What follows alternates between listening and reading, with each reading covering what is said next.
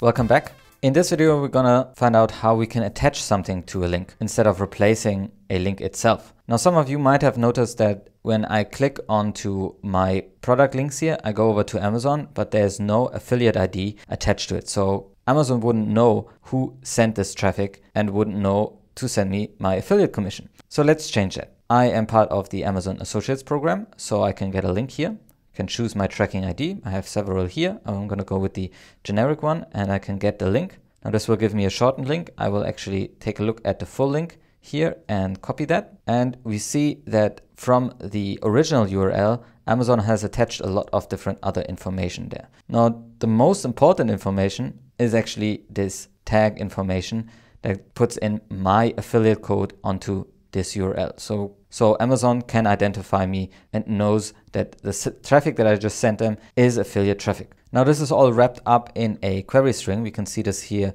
with the question mark and then it starts with IE and then some other information. That's actually not what we need. We just want our link to look kind of like this. Let's get rid of this here and then just our tag. And let's check this link works and it shows Amazon that I've sent the traffic from my Measure School affiliate account. So this is the link that we want to implement into our page.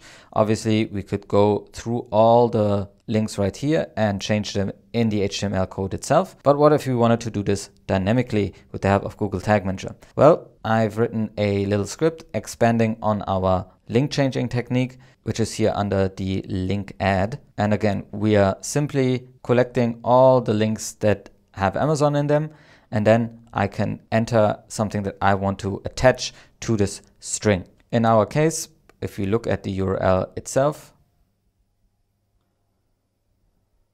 we can see that they don't have query strings attached yet. So we're going to start out with a question mark that we want to attach to it, and then our affiliate ID. In our case, that would be tag. So this is something we want to attach to all the links that lead to Amazon and we want to fire this on a trigger DOM ready.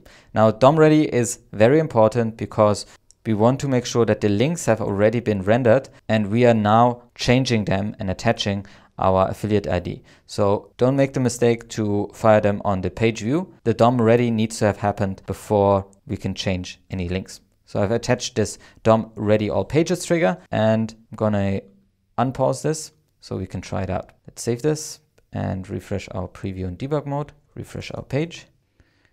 And there we go. If I click the buy button, now this is attached to our link and we can transfer information about us, about the affiliate over to our partner page or to the seller in this case. So we'll be able to get affiliate commission if the user buys. So pretty easy technique to tag all the links on all the pages that lead to Amazon automatically with your affiliate code. Now, if you wanted to change that affiliate code, obviously pretty easy to change it around again in this script and simply replace or change this around.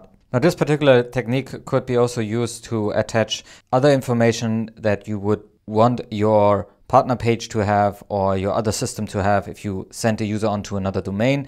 You could utilize it for UTM tags, for example, or add additional information to a link that you would like to have available in a third-party tracking system, like a contact ID, for example.